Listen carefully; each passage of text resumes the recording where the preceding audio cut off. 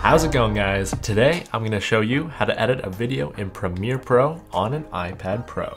Now this is coming after the popularity of a previous video I made showing you how to edit in Final Cut Pro on an iPad Pro. If you want to check that out, you can find it up here.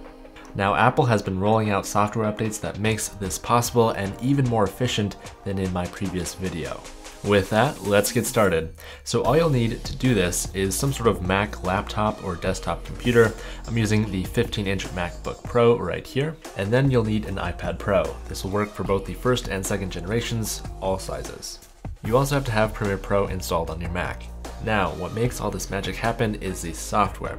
So on my Mac, I'm running Mac OS Catalina version 10.15.3 beta, on the iPad over here, I'm running iPadOS 13.4. Now, it is very important that both of your systems are at the most up-to-date software that is possible, otherwise this won't work.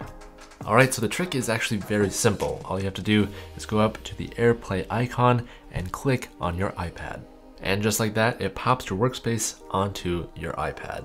This feature is called Sidecar, and I think it's one of the coolest things Apple has ever done. So now I can use my Apple Pencil and the Keyboard Folio, which is new for this updated version of Sidecar. I can use all of this with the iPad interface to seamlessly edit a video in Premiere Pro. I don't know about you, but this is pretty darn cool. Um, what I find even more impressive is how little latency. There's like almost zero latency here, which if you think about what it's doing, it's taking my inputs of the Apple Pencil into the iPad, it's sending that over to the computer, running that through Premiere Pro, fetching the video off the external hard drive that I have plugged into my computer, and then sending all that back to this screen for me to view. To do all that with basically zero latency is very impressive. So you don't actually have to use the Apple Pencil if you don't want to. You can use the Magic Trackpad or the Magic Mouse and use your normal editing system just on the iPad. Alright, so what is the practical use of this, you may be asking?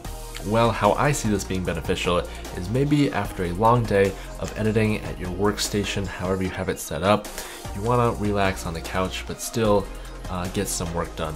This is where this feature could come really in handy because you don't have to ditch the current workflow and setup that you have on your computer for the more simplified app version of the normal, you know, iPad operating system. You can use your whole computer operating system just on the screen of your iPad. Take this, sit on the couch, even go into another room and still pick up from where you left off. I hope this video is helpful in teaching you how to do this little trick here, and if you already have these two devices, uh, it just makes them connect even better.